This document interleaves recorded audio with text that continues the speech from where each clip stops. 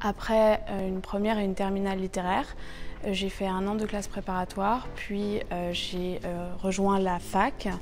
ensuite, j'ai arrêté mes études et j'ai décidé de reprendre mes études. Et l'UCLI m'a donné cette chance de reprendre en L3.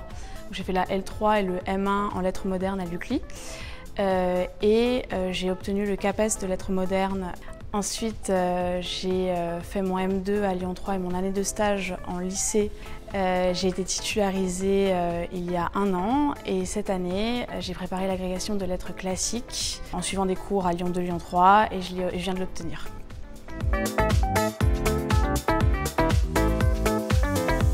La prochaine étape, ben, ce sera déjà de mener à bien la première année de stage d'agrégation pour être titularisée.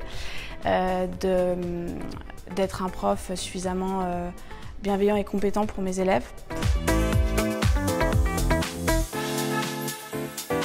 L'UCLI euh, propose vraiment un accompagnement de l'étudiant. C'est une formation qui est humaniste, on est vraiment écouté par les professeurs, c'est-à-dire que si on a un problème, ils sont là. les professeurs sont sérieux, sont compétents.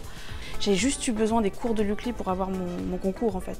C'est une université aussi où les cours se font en petit comité par rapport à des universités qui sont beaucoup plus grandes, euh, qui, euh, qui, prend soin de ses étudiants. Et l'ambiance euh, dans, dans, la promo ou l'ambiance, c'est une ambiance de travail, c'est une ambiance apaisante, c'est une ambiance sereine. C'est en fait un lieu de savoir et de liberté et c'est ce qui me plaisait.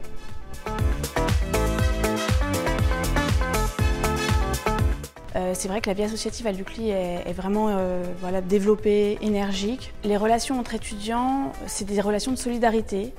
Euh, il y a des amitiés qui se nouent. J'ai une, très bonne amie qui était là quand on a passé le CAPES et je la revois là cette semaine. Elle est, bon, elle est prof de français elle aussi. Il y a une vraie maturité aussi qu'on voit peu ailleurs. En tout cas, on, la promo de lettres, je me souviens qu'il y avait pas mal d'esprits assez, assez curieux. Les relations avec les enseignants, ben, les, enseignants sont, assez proches euh, de leurs étudiants, c'est-à-dire qu'ils sont vraiment désireux de leur transmettre un savoir, de les faire progresser. Et j'ai toujours été euh, écoutée par les enseignants. Euh, aujourd'hui encore, ils prennent de mes nouvelles. Je veux dire, pas, ça ne se fait pas dans toutes les universités, donc c'est touchant et, et c'est important de le dire. Voilà.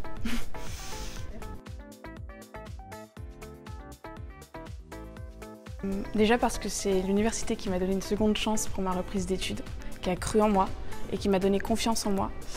Euh, c'est une université qui est ouverte d'esprit, qui m'a permis de partir à l'étranger en L3 et c'est peu euh, possible ailleurs. Euh, c'est une université qui est accueillante et qui accepte ses étudiants aussi dans leurs différences. et qui est, voilà, cette ouverture d'esprit, ce sérieux, cette compétence, c'est quelque chose qui, qui m'a touchée et qui m'a permis non seulement de me, former, mais de m'épanouir. Donc voilà, je remercie Lucli pour ça.